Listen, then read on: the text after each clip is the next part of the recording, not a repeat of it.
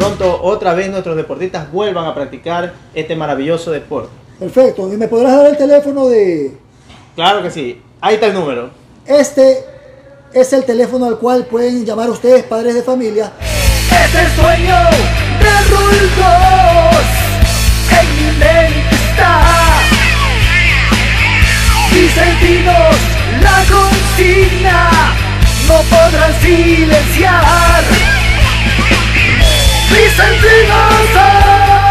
Hola amigos de TBR. Nos encontramos aquí en una nueva edición con dos figuras del deporte aquí en la ciudad de Guayaquil. Es un placer recibirlos aquí a nuestro sensei Jorge Sánchez. ¿Cómo estás, Jorgito? Un gusto, Roberto, poder eh, participar de esta entrevista de TBR y estamos muy bien, ya listos para reactivar el deporte. Perfecto. Y aquí a mi derecha, ¿no? Tengo el agrado de presentarles a David Alvarado. A David Alvarado, ya, eh, como pueden observar, tiene un físico bastante llamativo. Él se dedica a cuestiones de potenciación, físico-culturismo. ¿Puedes explicarnos algo? Ah, buenos días, Jorge. Buen día, TBR. En realidad, yo no solamente me dedico a la potenciación, como dice, ¿no? Me dedico mucho, soy licenciado en actividades físicas y deportes, me dedico a muchos deportes. Ya. Sí, uno de esos el taekwondo, a la formación, pero me dedico como con Jorge, me dedico a la preparación física específicamente, Ya. dentro de la academia, a la formación. Y Jorge maneja la parte técnica. Ah, ya, perfecto. A ver, eh, ustedes tienen un centro en el cual se practican artes marciales, tengo entendido. ¿Es es. TAE Club 2? ¿O me Así- equivoco? Así ¿Ese es, nombre? Tai Club 2 es. ¿Me puedes explicar cuál es, eh, en primer lugar, dónde se encuentra? Bueno, eh, la Academia Thai Club 2 ya tiene más o menos 15 años trabajando en Guayaquil. Ya. Eh, hemos formado muchos seleccionados de diferentes provincias.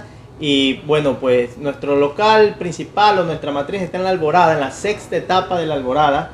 Vamos a hacer pues muy pronto, en pocas semanas, la reapertura con todas las medidas de seguridad. Estamos alistando todo para que pronto otra vez nuestros deportistas vuelvan a practicar este maravilloso deporte. Perfecto. ¿Y me podrás dar el teléfono de, Claro que sí, ahí está el número. Este es el teléfono al cual pueden llamar ustedes, padres de familia, para que sus hijos puedan reactivarse otra vez en el deporte. Ustedes trabajan en coordinación, ¿no? Eh, a, a los chicos que practican artes marciales, ¿cómo los pueden guiar ustedes en, en lo que vos te dedicas, David? Bueno, nosotros primero hacemos una valoración a los niños, le hacemos una tabla antropométrica, le hacemos un chequeo. Perdona, para los oyentes eh, que no hablamos eh, en ese idioma, ¿qué significa esta tabla? Una tabla antropométrica es una tabla de medida para ver cuál es sobre su peso, su talla, si necesitan bajar, necesitan aumentar para mejorar sus, sus capacidades físicas. Ya, perfecto. Supongo que ustedes también nos pueden asesorar en el asunto de lo que es una buena alimentación y estas cosas. Sí, por supuesto. Ahí es donde llegamos con todo. Hacemos un entrenamiento totalmente diferente, donde empezamos con la preparación física, la nutrición en base a la necesidad de cada niño y de cada joven, por supuesto. ¿no? Ya, claro, tiene que ser distinto para cada persona. Para los amigos de TBR, eh, que somos muchas promociones, eh, aquí Jorge, él es una de las glorias del Vicente Rocafuerte en la disciplina del Taekwondo.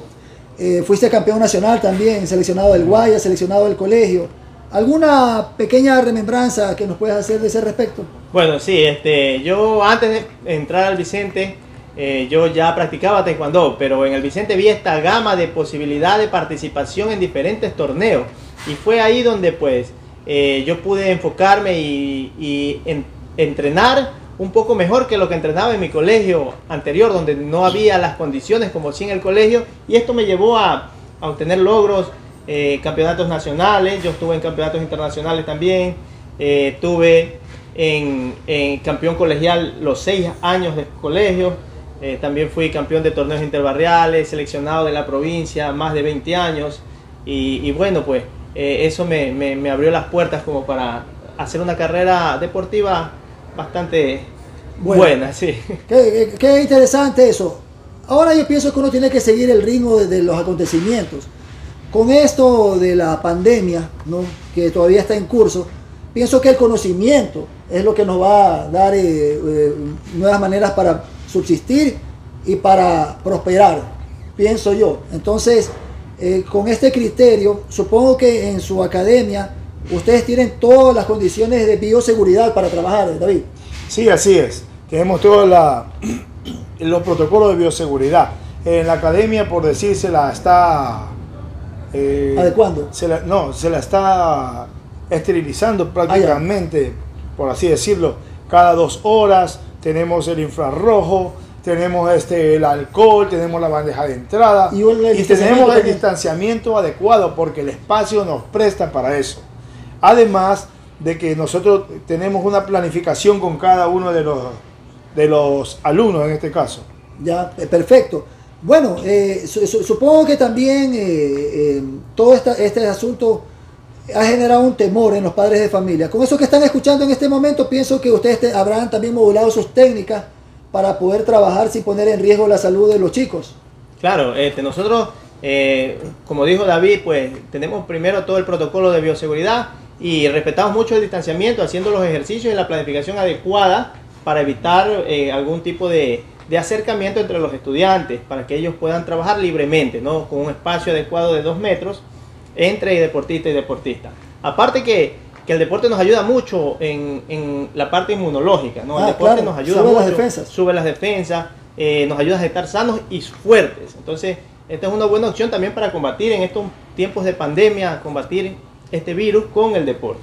Bueno, eh, yo no tengo el más mínimo conocimiento de, este arte en especial, pero eh, es fácil suponer que si mediante este canal que es el Taekwondo, tú entrenas la mente del individuo, vas a generar una forma de ser y por ende va a subir tus defensas, ¿no?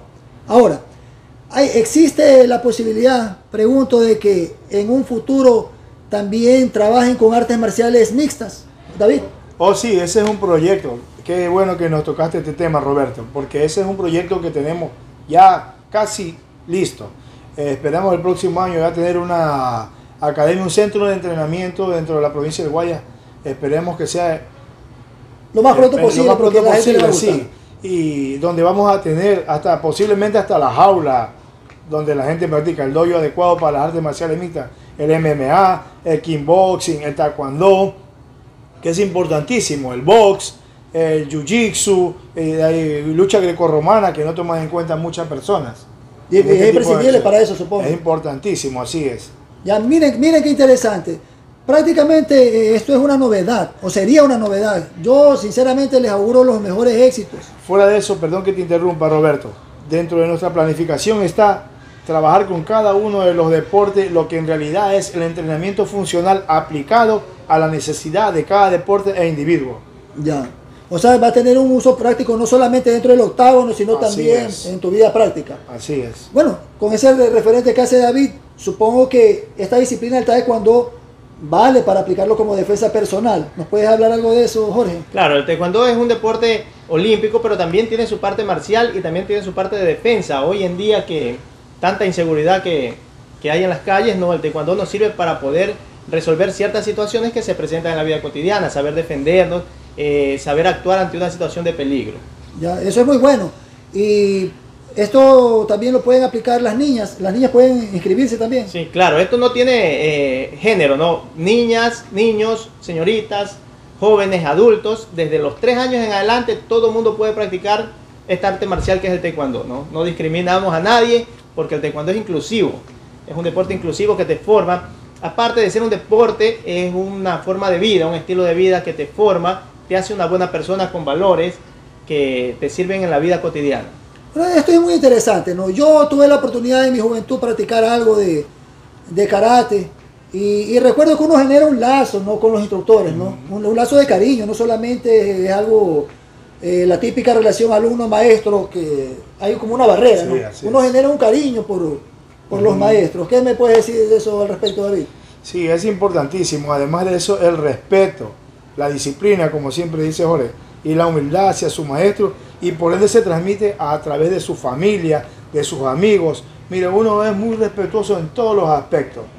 Respeta, a, aprende a respetar a las personas bajo cualquier tipo de, de circunstancia, digamos, ¿no? Que la persona es así, ahí uno ante más los quiere ayudar. Bien, bueno, son valores que veo, según lo que, lo, lo que me están hablando ustedes, eh, van más allá de lo físico, más allá de lo marcial, van al nivel de lo espiritual, según puedo observar. Y sinceramente, pienso que es una necesidad saber artes marciales en la actualidad. ¿Qué opinas? Claro, eh, es una necesidad, como te dije, por justamente el asunto de la inseguridad, pero también por eh, esta nueva temporada de que a veces los chicos pasan mucho tiempo tras una pantalla o mucho tiempo en, en situaciones que no, no causan mayor provecho. Este deporte te ayuda mucho en tu formación integral, eh, ayuda en la, en la formación de valores, ayuda a formar personas exitosas, perseverantes.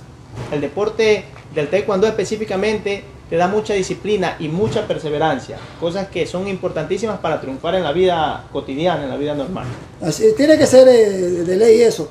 Yo supongo, o es fácil suponer, que muchos de los padecimientos de tipo psico- psicológico y somáticos que tienen actualmente los chicos se deben a la falta de deporte. Por supuesto. ¿El sedentarismo qué puede Así, ocasionar? El sedentarismo te ocasiona muchos problemas. Problemas mentales, problemas físicos, el sobrepeso.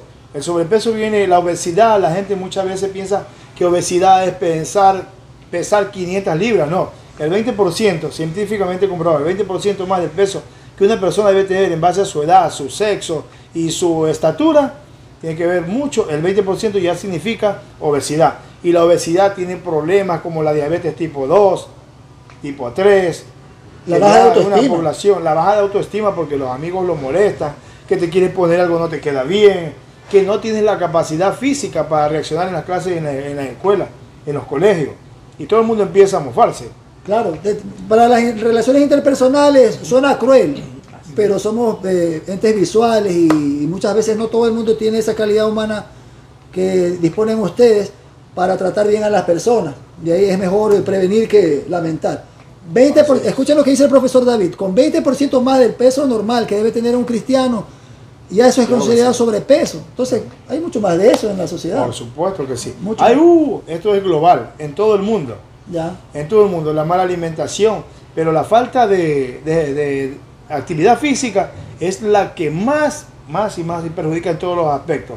Por eso nosotros dentro de la academia tenemos un plan de trabajo muy, pero muy bien estructurado. Trabajamos de acuerdo a la edad de una forma eh, Sistemática. sistemática, sí, en base a la edad de cada niño y utilizamos juegos y hacemos un montón de cosas de una forma lúdica donde los niños entran, disfrutan, se divierten, aprenden, aprenden muchísimas cosas ¿va? en la parte física, en la parte intelectual, en la parte emocional, en la parte disciplinaria.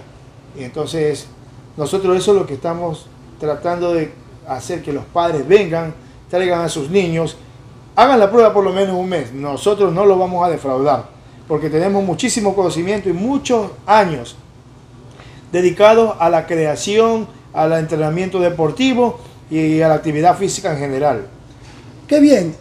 Yo quiero extender esta invitación a nombre de ellos porque considero de corazón que es algo necesario para sacar adelante a la patria, porque eventualmente o va a terminar la pandemia, entre comillas, o simplemente nos vamos a tener que acostumbrar a correr el riesgo. Es decir, eventualmente tendremos que salir a laburar, a hacer deporte, a aprender.